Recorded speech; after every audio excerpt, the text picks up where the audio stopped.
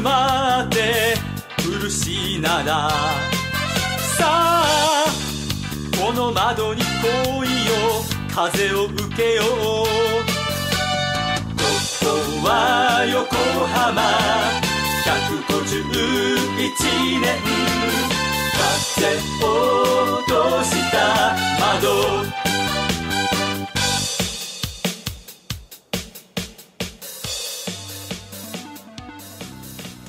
皆様こんばんは、こんばんは。えー、122回目、えー、ハマッコストリームフロム桜ワークス。いや言ってないです今日は。覚えてるね。はいなんですけれどもどんどんねね。増してきまして。まあ今日はちょっと厳かな雰囲気ではい。いきたいなと思いまして、うん。いえーギャグはちょっとやめたんですけれど別にいいんじゃないですかね。はい、あそうですか、はい。と言ってまっすぐ思いつくものでもないんですけれども。はい。まあ舞い降りてきたらまたいつでも言いますが、ははいい。今日は3月の12日ですか、十日。はいはい。まあ12日なんですけれども昨日ねそうですね。3月の11日ということでもちろんもうその日付を聞いただけでわかると思いますが、えーそうですね東北の大震災があって、えー昨日で4年目でしたねね。早いですよね。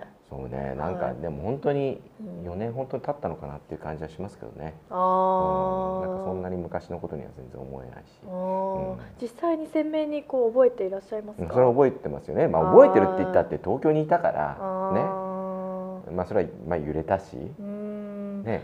前もこんな話したかもしれないですけどその時は東京で何をしていらっしゃった六本木にいてはいえっとあるあのまあ病院っていうかのところでちょっとうんえー、と仕事があって行ってたあのでお仕事の時だったんですね。はい。てであのそこのところで震災にあって、はい。で、えー、とその病院本大の、震災の発生、ね、がなんかこう、はい。揺れて大変だったりとか、はい。あまあ、みんな避難させたりだとかってしてたあーなるからね、ほどね。帰る時は大丈夫でしたうんか？帰る時はね、はい。あのそこの院長うんうん。と、まあ、あの一緒にずっと、うん。まあ、スタッフの人たち先に返してうん2人でずっと話してて、うん。電車も動かないし。じゃあ、まあ、最悪だったらあの俺のとこ泊まりに来るかって彼の家があの世田谷にあったので、うん。なんでじゃあ止めてよって話になって、まあ、彼は車で来てたからね、はい。うん、なるほどね。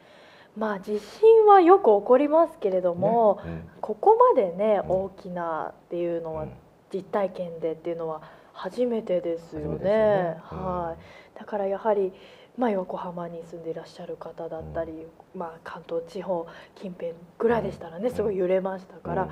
皆様のね記憶の中にあることかとは思うんですけれども、まあ復興っていうワードがね、うん。新聞など読んでいても、まあ、ニュースを見ていても出ますけれども、うん。でも先日ちょっと新聞を拝拝読しましてその時にやっぱりちょっと復興まあひまあ、冷めてきてるというか、うん。こう滞っているというのですね、うん。であの確か5年を目安に復興するっていうふうに、えーあの見たんですよ。うんうんうんで5年って言ったらあとタイムリミットは来年ですよね。来年まで復興するの本復当興するんですか、まあ、どこまでを復興ってにね ですよね、まあそのやっぱり復興するっていううんためにはこう熱い意志がね、うん。必要だと思うんですけれども、うん。それをやっぱ4年まあ3年ぐらいでね大体うん何でも物事ってこう、うん。まあ薄れかけてきたりうん。興味がっていうあれだと思うんですけど、うんじゃあ4年経った今、うん。えーどういう活動をねこううん復興のためにしているのかということをちょっとこの1時間で、えー探っていきたいなということですよはい。ね。はい、あのまあ昨日ね昨日っていうかあのやっぱりいろいろ考えててはい、あの実際ねそのほらね今レナちゃんも言ったようにはい、だんだん記憶が薄れかけてきてるとかっていろんな人たちが言ってるじゃない。はい、でも実際にじゃあ本当にどうなんだろうって横浜とか神奈川でどのぐらい例えば311に関したはい、関係した例えば、まあえー、と活動なりなんかこう講演演会とかイベントとか、まあ、もちろんそのあの公になってないものまで含めたらきっといろんなものが行われてるんだろうけれども、はい。実際にあのそうやって例えば、えー調べてみて、え。あのまあ例えばネットとかでたどり着けるようなものってどのぐらいあるのかなと思って実はちょっと調べてみたんですね。おはい、うん、そしたら。そしたらねはい。やっぱりまあ一頃に比べたらはい。ねやっぱりなんかあんまりないかなっていう気はあ正直したけどね。ー。うん。やはり減ってきては、いやどうなんだろうね。それが減ってきてるのかどうかがちょっと分かんないんだけど、うん。まあ初期の頃うん。を知ってるというか、あれですよね。把握してるわけではですからね。例えばそのはい。新聞とかテレビとかでニュースになってたものとして、まあえー11日の日に、はいえーと復興のための例えば黙祷が行われましたとか、はいえー追悼のイベントがありましたというような、はいえー、とものがまあ新聞の記事になってるんだよね。うん。まあそうですね。そういう黙祷とか、うん。まあ一般的に知られていることはあれですけど、具体的な活動っていうのはうん。どういうことがされているのかなって思いますが。そうですね。はい。あのまずねちょっとねあの一番最初にもちろん頭に浮かんだのは、はい。あのーまあハマッコストリームもね311の後にはい。ずっと、あの月1回、はい。えー実はあの、えーこの方々の、えー声を届ける、まあ、お手伝いがね少しでもできないかということであの実はあの、えーずっと中継をね、はい。えー放送やってたんですけれどもへあの、まあ、東日本、えー大震災のねえーとまあ、今こう出てるのはえ NPO 法人神奈川311ネットワークというーね、うんうんえーとまあ、団体のえーページなんですけれどこれもともと神奈川に、えー、と災害ボランティアステーションというねあの神奈川のけ、えーと横浜駅のところにある県民サポートセンターはい。ね横浜駅にありました。ありましたありました。あります。今でもありますへー東口ですか？ど西口の方。西口ですか？ヨドバシカメラ行ってちょっと奥の方に入ったところにあるへえ、ちょっと存じ上げませんでしたが、ははい。い。でそこですね、はい。はい、あー出てきましたね。あのヨドバシカメラからちょっと。中に入っていったところですけれども、はい。でここであの東日本大震災、えー神奈川ボランティアネットワークというね、うん。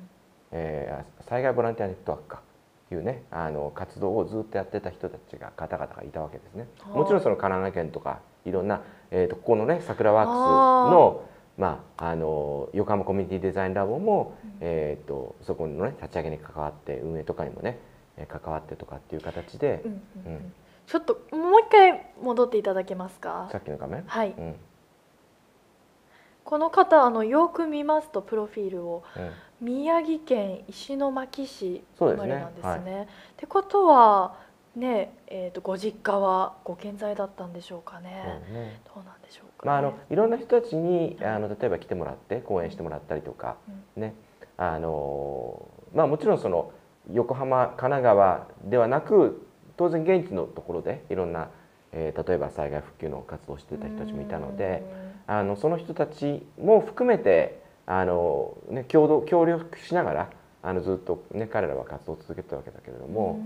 あの実は311の時に、えー、と311東日本大震災を忘れない神奈川ということで神奈川県民センターで、えーこのねあのイベントが、えーイベントというかねえー講演会が行われたというね、はい、でこの時にねサンマのつみれ汁を当日来場者の皆様に、えーまあ、お振る舞いいたしますということで。これは何ですか？その石巻のものとかですか？そうですねあの現地のやっぱりねこうあの、うんまあ、名産品というか、はい、うんそれをあの来てくれた人にじゃあ振る舞うという形で無料でですか？そうですね。へはいえそれはと思ったらでも11日で昨日で終わってしまう。あこれはだから昨日のイベントだったわけ。昨日のイベント。うんはい。きまあききまあを思い起こすためのイベントがなるほど。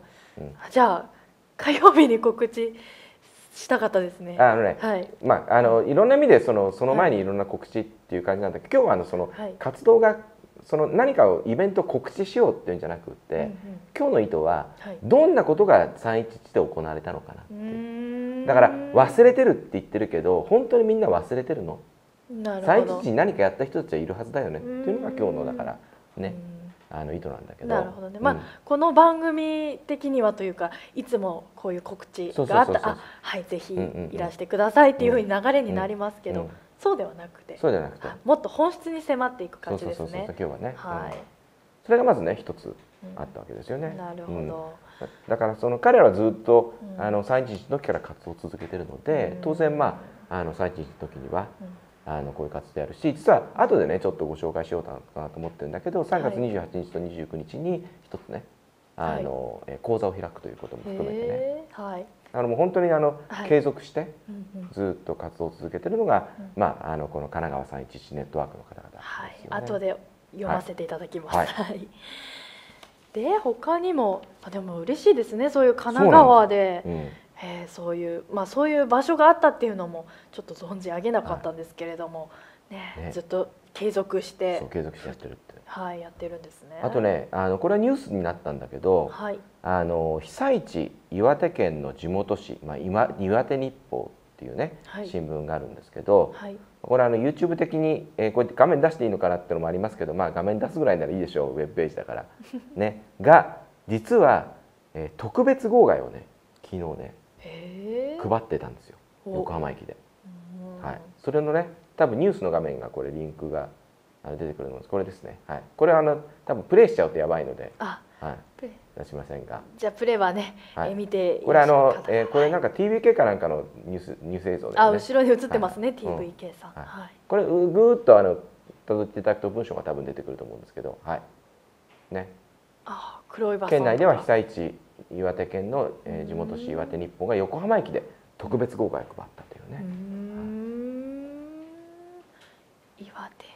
こういうこともねあったそうですよ。へえ私もね昨日だから号外配った時にはちょうどいなかったので。はいはいはい。何時に配ったかがちょっとこれ分かんないんですけど、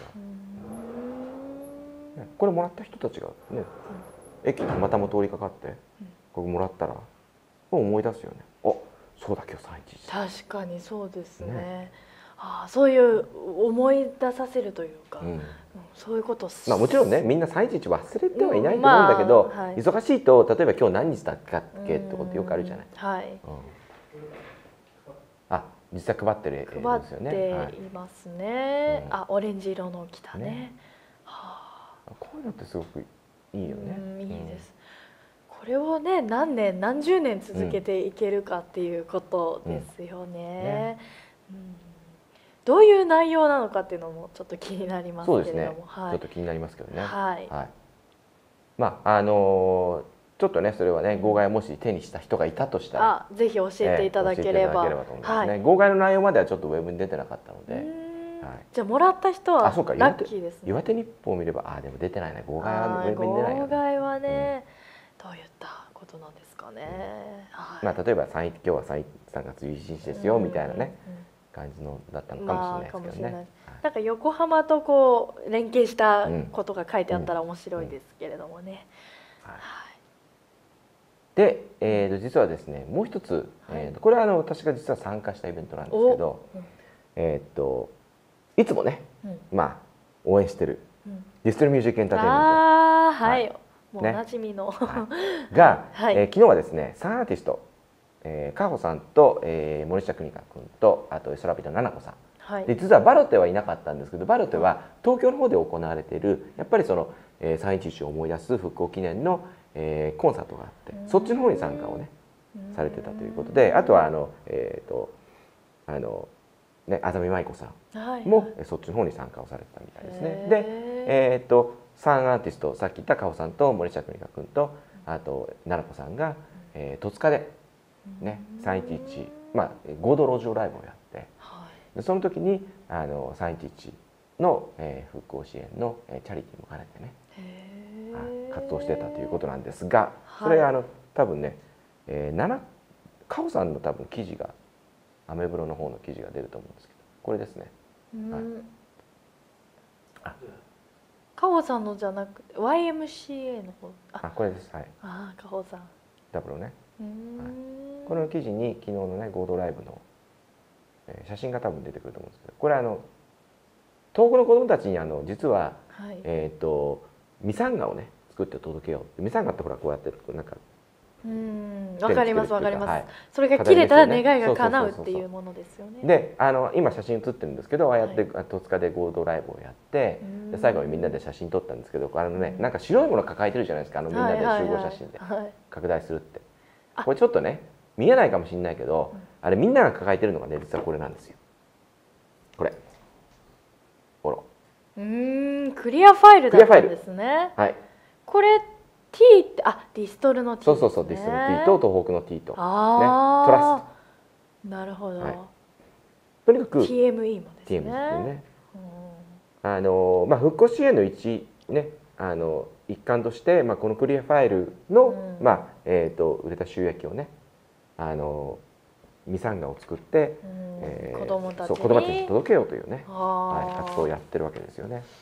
はい。い素敵な、まあよくねディストルの方々は、えー現地に行かれて、うん。えー福島だったりはい。行かれてますけれどもね本当にそういったもうあれですねもう震災が起こった直後から行っていたりして、そうなんですよね。すごいですよね。実はねその、えー、とエスラビットというあのその、まあえーグループっていうかアーティストは、はい今エスラビット奈々子さん、ななこさん、ね、単独ソロなんですけど、はい。えー、と当時はねこれまだディストリミュージックエンターテインメントって会社が多分確かできてなくって、であの今の、えー、あざみ社長と、えーそれから、ね、クリエイターのそのジョジョさんっていうね、はいはいはい、はい。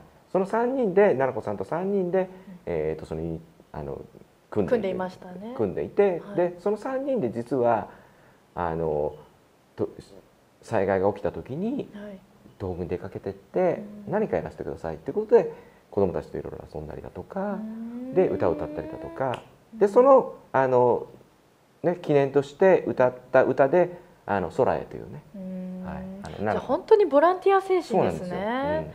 うん。でそこからずっと4年間、うん。ね、あこあの今日に至るまで活動をね、えー継続してつ続けてるというね。うん。それは熱い思いをねていらっしゃるなと思いますけれどもね。まあ後でねちょっとね、うんあのそのことについて詳しくあの紹介しようかなというふうに思うんですけど、うんうん。はい。そうですね。それも私がお読みしますので、はい、読んでいただきたいと思います。はい、お楽しみに。はい、それからはい、あのーに東日本大震災から4年311を忘れないということでさっきちらっと出たんですけどこれ横浜 YMCA うーん、YMCA と言いますと、YMCA っていうとあのはい青少年の活動をねね。あのサポートしてるそういう団体ですけど、うんはい、プールなどありますそうねよね。やっぱプールとかね はい、館内にありますよね。はい、ここがねあの311だけじゃなくって昨日だけじゃなくってあのその前後にねあのはいいっぱい活動してるんですよ。これうんあのウェブページく上にスクロールしてもらうとねそれが出てきますけど。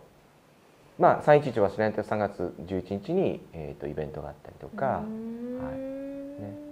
あのこれあの黙祷も含めてあの記念のあの、えー、とチャペルでね、礼拝ですね、はい。礼拝があったということでね。はい。で現地体験者の方のメッセージが読まれたりだとか、うーん。バザーもあるんですね。バザーもあったみたいですね。はいこれは東北支援のためのバザーということは、うん。ちょっとそこスクロールしていただけませんか？えっ、ーを実施して。そのうん。そのお金であそのお金を、えー寄付するというそうですね。ことですね。はい。なるほど。何かあの東北の方々のなんかこう記事を持ってきて、バザーをそれを売っているのかなと思ったんですけど、そういうことではまああのそうやってね例えば東北の物産を、はい。あのう持ってきて。はい。それを例えばいろんな、えー、とマルシェとかいろんなところで、うんうん。あの販売をしてるっていう人たちもずっとそういう継続してる人たちはずっとやっぱりいるので、なるほどね。そういうのも含めてねあの実際にその福島から例えば来て、えーイベントでねうん。それをあの彼らと一緒に売るっていうこともやってるうん。やってるんですけどね、まあ、ディストルとかもそういうイベントとかやったりしてますけどね。うん、はい。チャリティーイベント、ハートトゥハート。ねこれはあの8日に行われたもんですよね、うん。はい。これ湘南戸塚がこれうん。あのなんかこういうねあのやっぱり YMCA ってあのボランティア精神だとか、はい。そういう精神だとかをこう例えばスポーツだとか、ね、いろんな例えばその青少年の,、ね、あの社会に貢献するような活動とかをやっぱりこう推進しているようなやっぱり団体さんなので、うん。あのやっぱ継続してずっと活動をね、なる続けてる。まあ、もちろんその YMCA っていうのは東北にもあるだろういろんなところのやっぱりこうネットワークを通じて、うん。まあ、継続して活動を続けてる。はい。ねっていうことでしょうね。はい。そうですね。それからね、あのあとは県内例えば横浜市内で各地で黙祷というねはい、ニュース。うん。これあの県庁でも当然、ねうん。2月40 2時46分に黙祷したし横浜市内でもいろんなところで黙祷したというね、うん。はい、いうことがね行われます。だからこれ見るとねちょっとなんか安心するっていうか、まあそうですね。ねちゃんと県庁でもちゃんとやってるし横浜市内でもね、うん市役所とかそういうところでもちゃんと黙祷してますよっていうね、うん。黙祷って、うまあだだいたい1分ですよね、うん。うんしてる時って。どうやっぱり思い返しますか？その時のこと。そうだね。まあもちろんそれにどういうふうに関わったかどのぐらいの体験をしたかってことでやっぱりね、その人その人によって違うんだろうけれども、黙祷まあ黙祷だからこう捧げるっていうので、うん。黙想とは違うと思うんですけれども、やっぱりなんですかね。いやその黙祷っていうことに結構、うん、興味というか、まあ、興味っていう言い方はあれですね。まあちょっと気になってはいたんですけれども、こう黙祷やっぱりねこう祈るっていうかね、こうはい一刻も早く復興がとか思いがあると思うんですけれどやっぱりね黙祷黙祷するっていうのもね大事な大事なこう、ね。はい行事だと思います。はい。まああのそういううん。あの本当にうん。ねあの、まあ、行政も何が言い含めて。言いたかったのかってね、うん。あれですけれど行政も含めてやっぱりこうねあの忘れあ忘れてるわけじゃないよっていうね。うん。ちゃんと行われてるってこれ見るとなんかちょっとね、うん。そうですうん。ね、俺もほっとしたかな思ったのは、うん。そのだから黙祷とか、まあ、そういうお祈りとかそういうのもなんですけど、まあいつだってしようと思えばできると思うんですけれども、うん。やっぱりそういう時間を作るってことは大事ですよね。なかなか普段ね忙しいからうん。あ忙しくてみんな例えば思い起こしててもうん。じゃあ祈りを捧げてってことをしないうん。ことが多いのかもしれないけど。存分にその気持ちに浸るっていうか、そういう時間ってやっぱり大事というか、まあね普通の生活してる例えばそのえっ、とうんなんか例えば仏教徒の人クリスチャンの人とか、うん。まあいつもねこはい。うお祈りをするような機会のある人はもしかしたらね、うん。あのもっと定期的にお祈りしてるのかもしれないけど、うんまあ。ね、一般人とかはねなんかそんなことこうっていうのはあんまりないのでね。そうですね、やっぱりこう無になる時間がいいんですって、はい。なるほどね。あんまりあ無になる時間ね。もうやめた方がいいですかね。はい、うん。うん。でもそうやいいですか？って無になる時間っていうかやっぱりこうあの忙しい中でうん。少しねあの立ち止まってやっぱりこう、ね、考える時間っていうのをね、うん。が必要だよね。うん。で黙祷ってそういう意味も多分あるだろうしね。そうですね、あの無になる時間はうん。こうすごくこうあ今無になりましたよね、はい。パッて、うん。この時間ってすごくこう神様と通じ合ってるっていうか。あのなんか全体の宇宙の世界とこううん。通じてる時間うんなんだと思うんです。うんっていうのはもうそこ無になった瞬間がこう全てのものとこうつながってるっていうかうんエネルギーをうん地球のエネルギーをうん。感じてるっていうので、まあ、何を言いたいかと言いますとですねまあ私自身もすごくうん。そういう時間を大切にしていまして、そういう時間があるとこうふと迷,、まあ、迷いや悩みがあってもふとこうなんか一瞬リセットされるわけですよね。で逆にそういう時間があるからこそ前に進めるんだと思うんですよね。だから黙祷するってことはもちろんその思いを強く持つことも大事ですしその無になる時間があってそういう時間があるからこそ前に進めるんじゃないかなって思うので、ねはいうん大事だってことをはい。ようやくまとめられました。ありがとうございます。はい大事だと思います。はい、はい。あとはね、あのー、3月これは10日の日ですけど、東日本大震災神奈川、えー追悼の夕べというね。うんこれあの市民放送局で中継したんだよね。このイベントをね。えー、これ市民放送局のあの橋本さんがこう、うんえー中継してくれました。これどこでやったイベント？これあの横浜公園。あそうかそうか横浜公園ですねはいはいはいそうだそうだここから歩いてすぐうんはいはいはい市役所のところですね。ね、これ前の日の夜に、えーみんなで集まって、えー追悼の夢をやったというね。これはあのユ,、えーユーストリームでやったのでこれはアーカイブが残ってるはずだから、はい。はい、皆さん見ていただくことできると思いあます。の、うんなんか赤い感じの右側に見えるのはあれは何ですか？なんだろうね。あえっ、とこれですね。はいあのベラルーシ？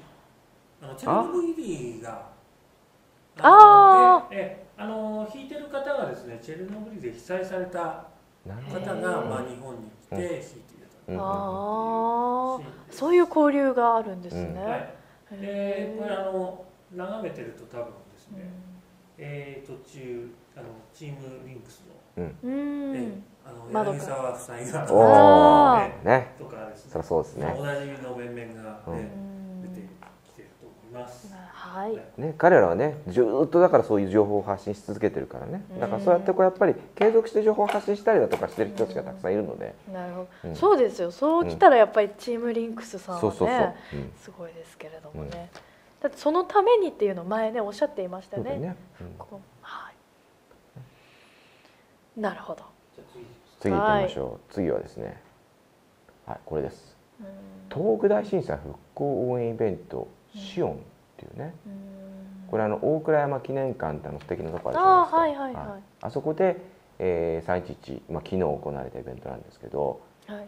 これね実は俺知らなかったんでこういうイベントがあるっていうのうねん。そう綺麗なうん。絵ですけれども、絵なのね。ではい。これ何かっていうと,、はい。えー、といろんな伝統、まあ、芸能というかはい。いろんな例えばその、えー、生け花とかお茶とかいろんな伝統のものがあるじゃないですか、はい。日本の。はい。それでをに携わってる人たちとか、まあ、関心のある人たちがそれをまあ生かしてというかな、まあ、その自分たちがそういう立場にいながらじゃあその復興支援のために何ができるだろうか。うん。自分たちの持ってるものを使ってね。うん。ということで、えー実は始まった、えうん。ーあごめん。違うか。違う？間違ったか違う なんか説明とか書いてないですかね、な、はい、踊ってるチアの子もいましたけど、ここはあごめんなさい、えー間違えましたね。はい、それはあの次でした。はい、はい。これはですね、えー、と失礼しました。はい。あの震災後にあのボランティア活動を通して、まあえー、と溝が深まった宮城県の、えー、とこれなんていうんだったっけ？七ヶ浜町。うん。七ヶ浜町ですね。はい、で始まった復興応援イベントがあってですねであのそれをこうずっとやっぱりこう継続していってあのこれ「シオン」っていうのはあの、はい。花言葉であの、えーと遠方にいる人を思うっていう意味だそうですね。はい。シオンってどうあ書いてありますねそうそうなのでそれをあのやっぱりこうね継続してやっていこうということで、うん。えーまあ、去年はあの一昨年はあの東日本の、まあ、各地でねあの様子こう復興してるっていう様子を伝えて、まああの何かがで何ができるかなっていうのを例えば東京であったりとか横浜で開催したんだけど、はい。えー今年はまあ関東東北を中心にやっぱり活動をずっと続けているものを、まあねえー、と遠方にある人をずっと忘れないように思い続けようということで、まあ、横浜のね、うん。えー、となるほどね。岡山記念館で行われたという、うん。はい。これも一つのねあのイベントですね。ですね。はい。はい、はい、次行ってみましょこれは、う。でこれは、えー、と NPO 法人神奈川、うん。えー、と被災者と共に歩む会という会なんです。いやごめんなさい。避難者と共に歩む会なんですよ。うん。あの神奈川に実は来東北からそうです。避難して来てる人たちがいるんですね。うん。で今も住んでるんですよ。へえ、これもしかしたらねあんまり知られてないことかもしれないけど。神奈川っていう印象はなかったですね。そう横浜も含めて実は住んでるんですね。ねその震災とかの後にうん。あの、まあ、そこから離れて自分の土地から離れてこっちにええ。あの避難してきた人、ってことはじゃあよ神奈川も支援したってことですか？そうですねはい。そういうそういう人たちを支援してうん。あの、ね、住めるようにっていうことを、うん。えー、と震災直後の時にね、はい。やってでそれを継続して住んでる人たち住んでる人たちがいるんですけどはい。そういう人たちってやっぱり遠く離れてるじゃないですか。はい。つながりってねいきなりだから全然知らない土地に来てるわけでうん。周りとのつながりもないしうん。ましてや、まあ、同じところから来た人たちもいるんだけどでもそれがバラバラになったりしてるケースがやっぱ多いので、なるほど。うんそういう人たちとをやっぱり、えーとまあ、地元の人たちで遠く離れてる人たち、まあえーとね、同じところから来た人たちをつなぐっていうのも一つあるだろうしはい。それからまあそういう人たちと、まあ、神奈川に住んでる人たちをつなぐっていうねうん。活動をこれもあの震災の直後からずっと続けてるわけですね彼らもね。でそれのまあこのイベント自体はあの、はい。そういう方々向けのだから神奈川に住んでる横浜に住んでる俺たちじゃなくってはい。そういうあの遠く離れて住んでる人たちがこうふるさと離れてる人たち同士がつながるようなイベントを、ね、あの311の時にあったというね。それを続けて続けてるわけですね。すね。だからやっぱりこうどうしても福島宮城岩手に住んでる人たちに対してじゃあどういう支援ができるかっていう視点がやっぱりすぐまあ支援っていうと多分それが一番頭に浮かぶよね。そうですね。でも実は地元横浜にも、えー、とそこから避難してきて住んでる人たちがいる。うん。だその人たちに対してはやっぱり何らかの形でね私たちが多分あのもしかしたらばそんな人がいるんだっていう人たちだってはい、多分多いわけで、だか確かにそうです、らそこが抜けちゃうことにもつながりかねないわけですよね。こうこういう活動をしてる人たちがいないとね。なるほどね、避難。えこれ避難のことを前提にいろんなイベントがあるんですか？ん？なんかちょっとあーページがいつもあれなんですけど手芸。はいはい、はい、ちょっとホームページ戻っていただけますか？トップページね。はい。あトップページ、うん。あの手芸とおしゃべりの会にいらっしゃいませんか？って、これもその避難者向けなんですか？ね。そうそうそう。全部だからいろんなその、ん。あのやっぱりこう例えばいろんな人たちが多分いると思うんだけど、ねいきなり、まあ、3年経ってるとはいえうん。4年経ってるとはいえ全然例えば友達もそんなにいないところで、ねあの暮らしててもじゃあどっかに出かけるかって言ってもなかなか多分行けない人たちもいるんだと思うんだよね。そういう人たちに例えばちょっと他の人たちと交流する場を作ろうっていうようなね。これちょっと興味ありますね、おしうん手芸とおしゃべりっていう。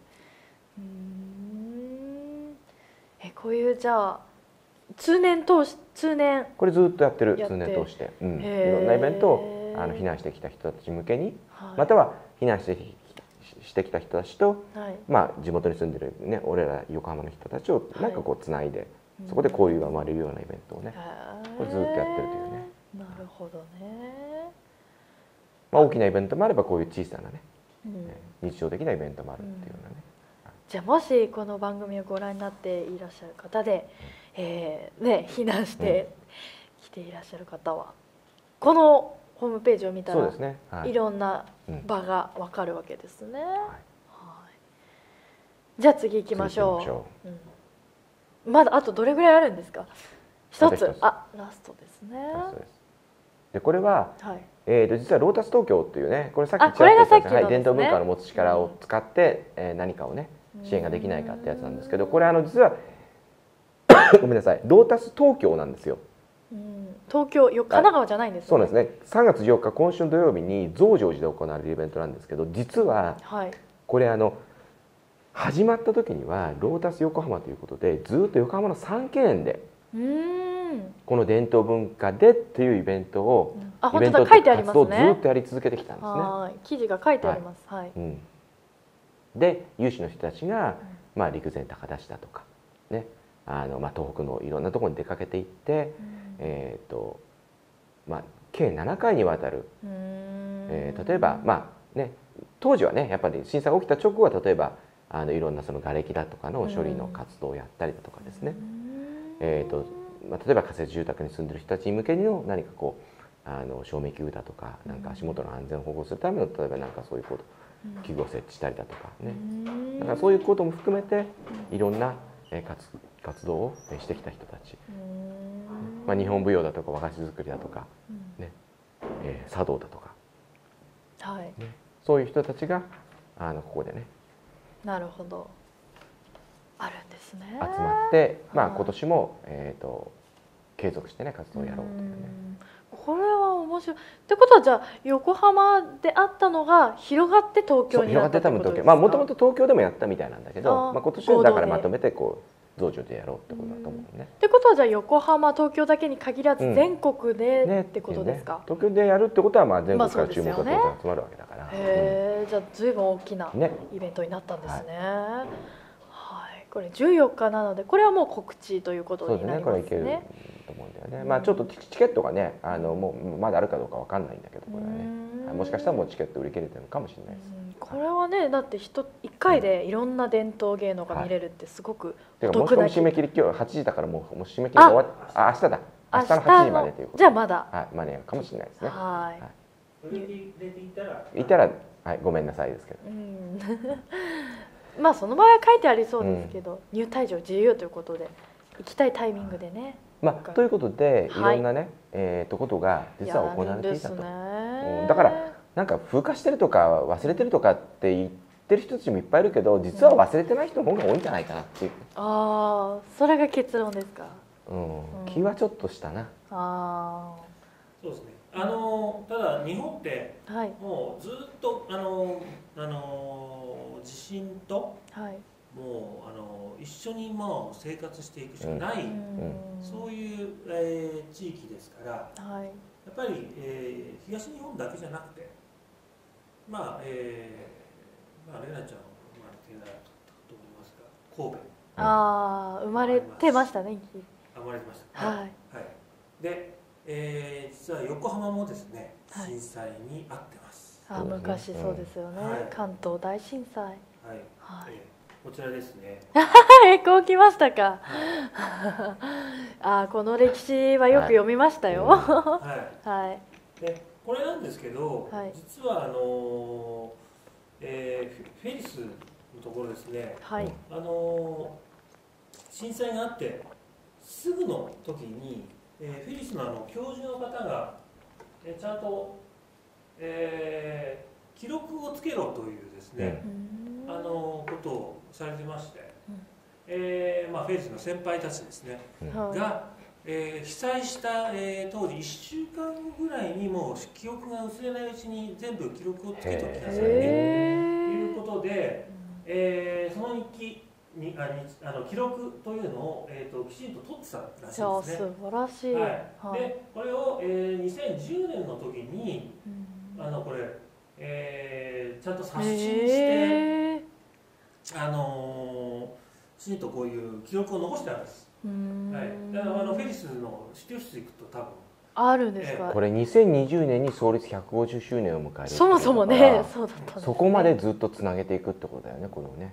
そうですね。はい。ああそうだからか継続してやってるわけよ。なるほどね。え150周年になるんですか？すごいですね、すごいですねで自分の実はこれ本当に、えー、と貴重な記録、ん。えー、ともう大正ですから、うわー時代がええ。随分と遡随分りえー遡るんですけど、はい。やっぱり、えー、とその当時はい。の詳細な記録ってほとんど残されてないですね、うん。特に横浜って、えー、この震災があったと。そうですよね。大空襲。空襲でまた資料が全部燃やされてしまってるというのがあるので、うん。あのそのよく残りました。戦前のえうん記録がほとんど残ってないんですね、うん。なので、えー、とその横浜全体の中から言ってもととてもあの貴重な記録です、うん。えどうやって燃やされないようにこう保管してたんでしょうね。やっぱりそれはフェリスのやっぱ学校でやっぱあのちゃんとえ責任を持たれてかなりあのはい。他の資料とか燃えてたりもするそうなんですが。これは、これは残ってるうん、なんか魂を感じますね。い。ろんな人のね、もしよければ、はい。一度あのああそうですね。ければ。わかりました。はい、はい。えー女子女学生の記録ですか。はい確かにその当時の記録ってないですし、まあ、記録ってこういうのね見ると特に思うんですけど大事だなって思いますよね、やっぱりその日その時、まあ、お話だったり何でも聞いた時って「へえすごい」とか思うんですけどそれをやっぱりこう書きと書き留めておくってことが大事ですよね。それを何年後か、まあ、何週間後かでも振り返るとあこんなことを言ってたんだとかこんなことを思ってたんだとかこういう現実だったって書き留めておくって大事ですよね。まあハマコスリムもねある意味ね人の話をずっとはい、聞き続けるってことそうで,、ですね。それがまあ映像として残ってるという記録ああそうですよでね、ね。誰かの言葉がねはい。ユーストリームあそれはどうですか？うんユーストリームで放送はし続け。それまああのまあ要はどういう媒体で放送っていうのはとりあえず置いとくとしても、はい。それが映像で録画されたものが YouTube にずっと残ってる媒体でね、なるほどはい、ね。っていうのがあるのではい。4年間のものがね。そうです、ね。そういう意味でだから記録ってねやっぱりすごく大事はい。かなと思いますね。はい。まあ、はい。うん。うん。YouTube は Google さんなので、Google さんね。あのええ Google さんお金持ちで多分、えー、と国の、えー、と3つや4つあの平気で買えるキャッシュ持ってる。あそうなんですお金持ちの会社なのでしばらくは大丈夫だと思います。はい。はい。YouTube ね。はい。はい。まあそういう意味でねやっぱりこう震災まあ、えっと東日本大震災じゃなくて阪神・淡路、はい。まあ、その他のうん。いろんなねあの地震とかも含めてやっぱり日本は災害の多い国なんで、うん。まあ、311で東北を思い出すとか例えばうん阪神・淡路を思い出す、うんまあ、他のもそうだけれども、まあ、自分のね、えー、とやっぱりその防災だとか、うん。ね、あのこれからのに備えてっていうことも含めてやっうんぱりいろいろ考えるうん。機会にはねそうですね。多分なるんだと思うんだよね。あの。あちょちょっと、うん。ただ思い出すっていうんじゃなくて、なんかそれを警告っていうふうにはい。思うのも大事ですよね。そうですね。ただその時の、まあ、その日何してたかってことも、まあいいと思うんですけれども、そうじゃなくて、まあ、そういうことそういうこと、まあ、防災とか、ちょっと今ま今の生活油断油断というかね、はい。こうもっと大事に今を生きるべきなんじゃないかとか、そういうふうに思う警告かもしれないですよね。はい。まあ、そういう意味であの、うん。今週の土曜日とあとそれからえ3月の末にね、はい。えさっき紹介した団体の中で2つうん。あのイベントがあるんでそれをねはい。ちょっと最後の方にはい紹介しようかなと思うんですけれども、ね。はい、じゃあ私からちょっと紹介させていただきますまけれども。まずはじゃあ神奈川311ネットワークさんの方から、えーご紹介させていただきます、えーあこれ出ないですか？ウェブページ出ますよ。出ますか？ちょっと私の顔をねずっとって、えーずっと映ってますえね。ーちょっとはい。ね、今日はおしゃれかなあかなりねおしゃれとうございます。つもよりもあこの洋服お気に入りです。はい、はい。えーということでご紹介させていただきますけれども、えー3月のこちらは28日の土曜日と3月29日の日曜日、はい。えー2014年度災害ボランティア講座が2日間行われるそうです、はい。えーあちこちの災害で活躍している一般社団法人ピースボート災害ボランティアセンターのスタッフを講師に講座を開催いたしますえー例えば災害ボランティアをやろうと思うけどどんな感じかよくわからないとか、えーどんな活動があるのとか、まあ、現地は危険じゃないの何を持っていけばいいのなどなどさまざまな、ね、疑問が生まれると思うんですけど、そんな疑問を解決できるそうです。え1日目の入門編ではボランティア出発前から活動後までの心構えや、えー災害に関する知識、えー災害時の自分の身の回りから注意すべき怪我や病気など誰にでも必要な知識を学びます、はい。えーそして2日目のスキルアップ編はさらに詳しい知識とケーススタディなどを講座ワークショップ形式で学びます。えー災害ボランティアをやったことのないという方も知っていて損のないことばかり。災害はいつ来るか分かりません災害支援を何度行っていてえー何度か行っていてえー知っているという方も再確認スキルアップのためにぜひ皆様の参加をお待ちしているということです。はい。はい、こちらね今ホームページが出ていますけれども、これは2014年度って言って年度がねはい、3月までっていうことで、なるほどね。えイベント自体2015年の3そうですね。月28、はい。29日、今年、はい。今月ありますが、10時えにえー3月の28日は10時から14時半、そして3月29日は10時から16時半ということで、まあ、ほぼ1日使ってのイベントですけれども、すごく、えーそうですねボランティアをしたいっていううん方々はすごくためになるお話でしょうね。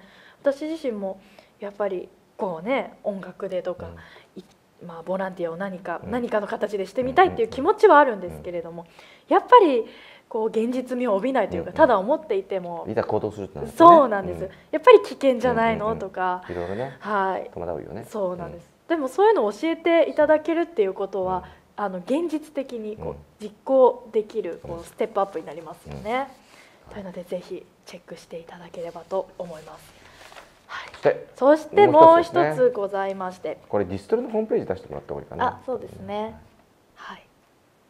ディストルさんのなんですがご紹介。ね、実はね、はい。あのディストルミュージックエンターテインメントが、月1回あの戸塚ではい。フェスカフェってやってますね。イベントやってますでしょ、はい。あれがね実はね3周年らしいんですよ、へえおめでとうございます。うん。で来ない。じゃあこれ3は周年らしいんですけれども、はいそこれですね。来ましたはい、ねこれねイベントっていうところですね。イベントっていうところをクリックすると出てきます。で、えーくるくるくるってあげるとえしばらくいくとですね出てくるはずだと思います。うん。まあいろんなねえっ、と箱ライブだとかいろんなこれバロっていうのは大桟橋とかねうん。いろいろあるんですけど。なるほど。ここですね。あここの上この下。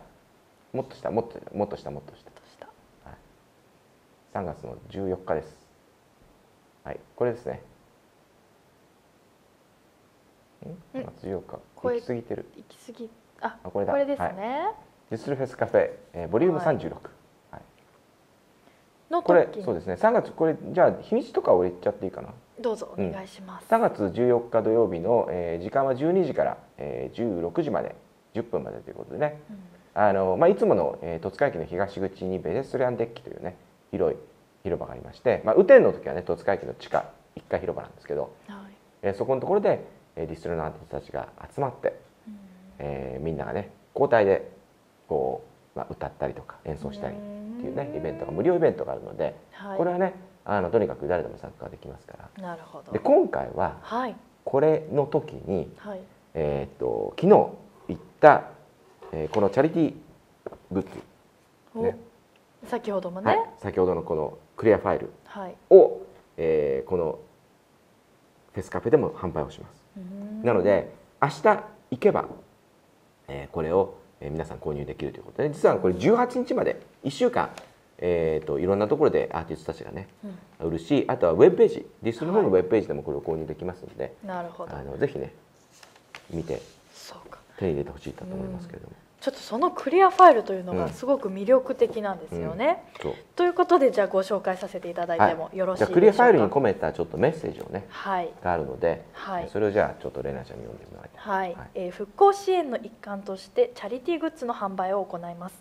2015年3月11日水曜日から3月18日水曜日の期間中にイソラビトさん、えー、イソラビトカホバロテ森下邦太が路上ライブや各イベント。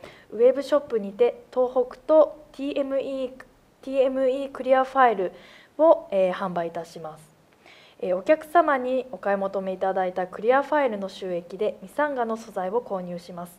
ミサンガは横浜 YMCA の学童クラブ子どもたちを中心に制作し南三陸町鳥、えー戸倉小学校の子どもたちに卒業式で寄贈いたします。えー震災から4年が経った今だからこそできることがあるとすれば決して4年前の出来事を忘れないこと。そして言葉や形で思いを示すことだと感じております。東北へはなかなか足を運ぶことはできないけど何か届けたい。形に変えて届けることができたらと考えております。そこで本キャンペーンではホームページやアーティストページにて記念品の制作過程から子どもたちに記念品が届くまでをしっかりと皆さんに発信してまいります。お買い求めいただいたクリアファイルを見るためにこのキャンペーンがあったこと4年前の出来事を忘れていないことを確かめそして前に進んでいける企画になれば幸いです。チャリティーグッズ販売キャンペーンもよろしくお願いいたしますということなんですけれども、えークリアファイル。あーそうなんですね。500円でこれじゃあクリアファイルとあとこれが。お CD が「空へ」「と。空へ」っていうねこれはい。エソラビと奈々子さんのはい、歌って曲ですけど。いらっしゃいますけれども、これがはい。実はあの、えー、と奈々子さんとはい。カホさんと、はい。えーそれからバロテとうん。森下邦太君と、うん。えーこの4アーティストがコラボした特別バージョンなるほど。が入ってるというね、うはい。そうなんですね。あそれはすごくお得ですよね。ははい。限定200枚ということで、もうすぐなくなっちゃうんじゃないかなとい、いうふうに思うんですけれども、まだウェブではまだウェブでは。ま在庫ありということですね。これ11日、まあ、昨日から、えー来週の木水曜日、えー18日までの間、その期間限定ですよそうです。ね。はい、販売しているということなので、ぜひぜひですね。ちょっと手に入れてくださはいい、はい。はい。まあ、もちろんねいろんなところであのこれに限らずねはい。あの復興支援の応援のための、えーチャリティーだとか、はい。ねえー何か物産の販売だとか、はい。あとは実際の活動だとか、うん。ねえー実際出かけていってもうなんか多分ステージとしては例えば俺たちが向こうに行って何かボランティアをっていうケースは、はい。よっぽど例えば例えば専門家の人じゃないともうないとかってうん。あるのかもしれないけど、うん。でも例えば向こうに行って例えばね普通に観光地っていっぱいあるわけだからはい。行って楽しんでくることだってうん。いいわけだよね。はい。うん、そうですね。まあそれが結局はそお金が回って支援になるわけですもんね。あとはね企業とかでね例えばなんかコラボをして、うん。そこのところで事業をうん。一緒にやるお手伝いをしたりだとかってこともできる人たちがいるのかもしれないしね。そうですよね、何もこう堅苦しい印象じゃなくって、実際に私たちもこう行ってこう楽しむってことが結果的にね一挙両得ですよね。そうですよ。去年もね2回ぐらいと3回3回ぐらい行ったかな。福島含めてね。美味しいんですよね。そういう食べるものとかがね、うん。うん、いい温泉があったりとかね。あそうなんですか、うん。ちょっとそういう情報とかもねね。教えていただきたいなって思いますが、私まだ行ったことなくてですね、東北。あまあ福島の福島県はまあ昔行ったことあるんですけれども、ちゃんとそういうまあその後にね震災の後にっていうのはなかなかなくてですね、うん。まあまあそういうんじゃなくてもまあ東北は行ってみたいなというふうには思っていたんですけれどもなんかいろんなこう お店とか、えー教えていただきたいなと思いますね。はい、あそういう特集もいいですね。ね。はい。実際にね、でもあの、えー、とブラステの人たちとかねうん。あのそういう東北に関わる人たちとか、うん、はいまあ、もちろんディストラアーティストもそうですけそうど、ですね。はい、来ていただいて。あの実はこれねここにあのバッジがついてますけど。あ本当だ。アイスという。これあの小野町の特産品のアイスバーガーのバッジですけど、はい、受けてますね。アイスのねね。可愛らしいそうそうこそうそう。ね。うありますね。こういろんなねあの、熱々のバンズの中にあのアイスクリームが挟んであるっていうね。へ小野町の名産特産品というか B 級グルメへえそれのとかね。まあなんかいろんな美味しいものがあるわけですよ。岩手に行ってもね。なるほど。山田町にも行きましたけどうん。すごく美味しいお醤油があったりとかね。そうなんですね。じゃあそういうアイスバー面白そうですね。えー、食べてみたいななんて思いますけれども。ぜひぜひ行って食べてみましょう。はーい桜もね綺麗だよ。ああそうですよね。ね。桜って言福ったら島東北、うん。桜の綺麗なとこもいっぱいあるんでね、山形もそうですよね。山形もそうだしね。さくらんぼとか、だからこう多分こっちが桜が終わった頃にさ、うん。だんだんだんだんね。あそうです。桜ですね。桜前線だから。さくらんぼの頭が上に上がっていくと、はい。上に上がっていくわけだから桜前線がね、そうですよね、はいじゃあこっちも見てあまた桜見たいなと思ったらああもうそれはもう贅沢ですね。それいいと思いますよ。いいですね。まあ、今見たかった沖縄の方とかね。うん、まあね、うん。うん。でお桜を見かけるはい。そういう方いらっしゃるんですかね。うん。いるかもしれませんよ。うん。桜の旅とかね、みたい。な、いいですよね。なんて思うんですけど、じゃあやはりそうやって思いはうん。こう忘れてはいかないっていうのと、そうねそういう活動されていらっしゃる方も多いということはすごく分かりました。うんはい。ね。まあやっぱりなんだろうこうずっと活動を続けてる人たちが多分特別とかじゃないのかもしれないんだよね。そそのステージステージで多分必要な活動があってまあもうそれの、えーとまあ、役割が終わったのか、まあ、いろんな、まあ、ことがあってもう例えば継続、ね、今やってない活動だってあるしでもそれがその時に必要だったっものだったもていうものも多分たくさんあるだろうしそれからこれから例えば必要になってくるものっていうのが多分あると思うんでただちょっとねふとねはい。疑問に思ったのはねはい。あの復興復興っていろいろ言っててはい。まあなかなか復興って進んでないじゃないですかね。正直言うと、はい。進んでるってイメージないよね。で例えば仮設住宅にずっと今でも住み続けてる人たちはたくさんいるし、うん。例えばあの、えーと駅だってねあのす今年になってやようやく駅が完成したっていう街だ4ってあるし、年目でですか、ね、そういうとこが東北にざらざらあたくさんあるわけよ。う、ん。でもさふっと考えたらはい。その間にはい。東京でまた神奈川横浜もそうだけどはい立派なビルだとか施設だとかはい。どんだけ建ってる？もう山ほど立ってます。この4年間の間にはい。例えば関東圏だけ取ってもなんか新しい例えばその何？こうモールだとかうん。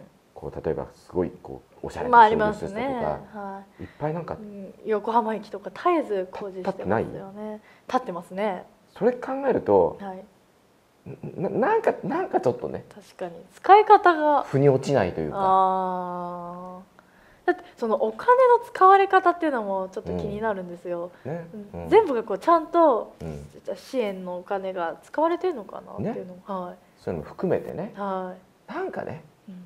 こうしっくりこないところがあ確って。かに。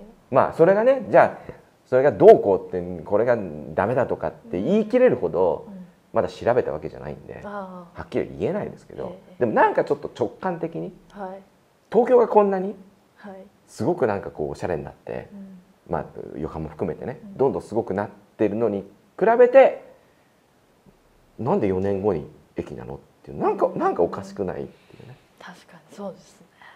駅に、うん、東京ばっかりでね結局結局だから東京とか関東圏だけがうん、栄えて。復興したのってうん、何？こっちっていうね。そうですね。ね。うん。あれって本当は復興しなきゃいけない東北じゃなくって。が、まあ、オリンピックでねオリンピックもそうだけど、はい。うん。でもそのまあそれがなんねか変だなというのでちょっとね考えてみたいと思いますよこれうんから、ね、なるほどね、あそういう問いかけが。そうです。はい宿題。なんか変だぞと。うんいうふうにあの個人的には感じてます。うん。ね。まあ確かにね。変だというふうにそういう感覚はね多分ねうん。直感的に多分なんか持ち続けたいなっていう。ねはなんか変だぞ。いうん。きっとそれをはい。はい。発信していきたいなと思いますので。ければ。はい。ですよね。というのでそろそろお時間になってまいりましたかね。はい。はい、3月11日。まあそういう思いでね、えー、なんですか発信し続けるということを、まあ確かに。そうですね。私たちばかりこの、まあ、当たり前のこともね、うん。当たり前じゃないかもしれないっていうかね、そういったこともちょっと考えていきたいなって思いますよね。はい、というので来週。来週は。来週ですね。ちょっと、えー火曜日については今ちょっと調節中なんですけれども、はい。えー来週の木曜日は？はい。なんと。どなたが来られるかというとですね、はい。えっ、と、まあ親善大使も昔開校親善大使の先輩、先輩です、はい。私の一つ先輩でもあり、うん。えソプラノの歌手の、え中野愛理さんに来ていただきますので、すごく素敵なね、はい。方なので楽しみにしていただければと思いますちょっとのでね大桟橋の方でもしかしたらお歌ってもらえるかもしれないおおそれは楽しみですね。4月の28日大桟橋から OK が出ましたんで。あ本当ですか、はい。今聞きました、は じゃあ28日ははい。ちょっとねオ歌っていペラただけるかもしれない。はい。ぜひ皆様いらしていただければとまあ、思います、こ今月は小泉来ますからね。そうですね。24日。26か、24日。もぜひはい皆様はい。来てじゃあ2424続きですね、来ていただければと思います。はい。というので今日も花粉気をつけてください。気をつけようがないか、気をつけましょうね、うん、まあでも、まあ一言ですかね。はい。はい、はい、じゃあおやすみなさい。ハーブがいいです。おおジャス